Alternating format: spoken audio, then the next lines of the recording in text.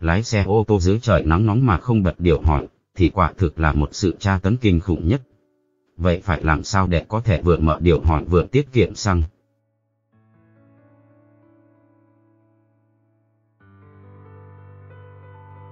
Theo các chuyên gia, bật điều hòa ô tô quá mạnh sẽ gây hao tổn thêm 25% nhiên liệu. Tuy nhiên, nếu biết mẹo, bạn sẽ tiết kiệm được khá khá tiền xăng khi vừa chạy, vừa dùng máy lạnh.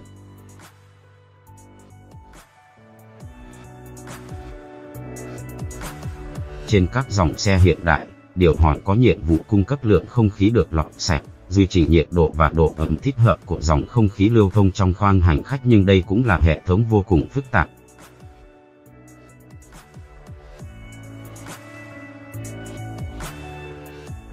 Vì vậy, nếu quá trình sử dụng có sai sót sẽ khiến điều hòa phải làm việc quá tải, ảnh hưởng đến mức tiêu thụ nhiên liệu của xe.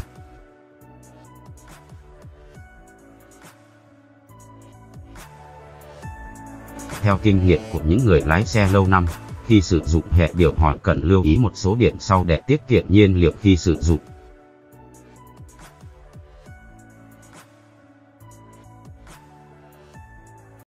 Bật hoặc tắt điều hòa Trước khi khởi động xe, phải tắt chế độ điều hòa, tắt quạt, đèn. Sau khi khởi động xe, bật quạt thông gió, mở cửa kính để thổi bớt khí nóng ra ngoài khoang hành khách, đóng cửa kính rồi mới bật điều hòa.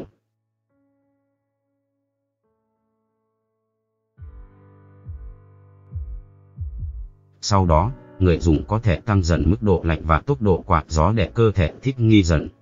Trong trường hợp muốn dừng xe hay tắt máy thì phải tắt điều hòa trước, tắt quạt rồi hãy mở cửa và bước ra ngoài.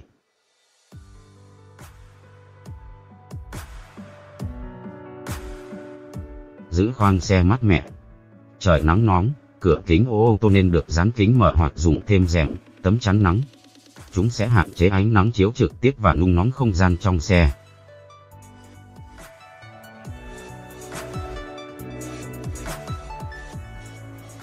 Khi đỗ xe ngoài trời, tài xế nên chọn chỗ nào dâm mắt nhất để đảm bảo khi quay trở lại, xế yêu không bị quá nóng. Cửa kính cũng nên được hạ xuống từ 1 đến 2 cm để các luồng không khí bên trong và ngoài xe lưu thông với nhau.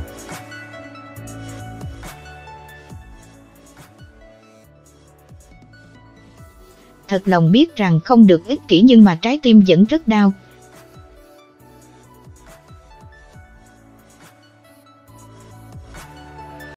còn khi xe chạy trên 80 km một giờ thì không nên tiết kiệm kiểu này, vì lượng nhiên liệu xe tiêu tốn bù đắp cho sức cản gió khi hạ kính, còn tốn hơn cả nhiên liệu dùng cho điều hòa.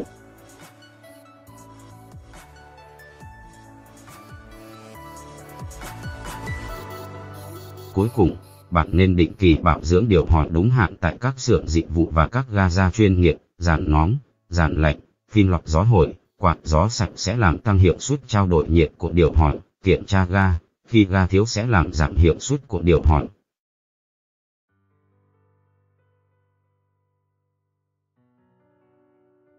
Bạn cũng nên kiểm tra các gô cao su cánh cửa gầm bẹ xem còn bảo đảm độ kín khít không.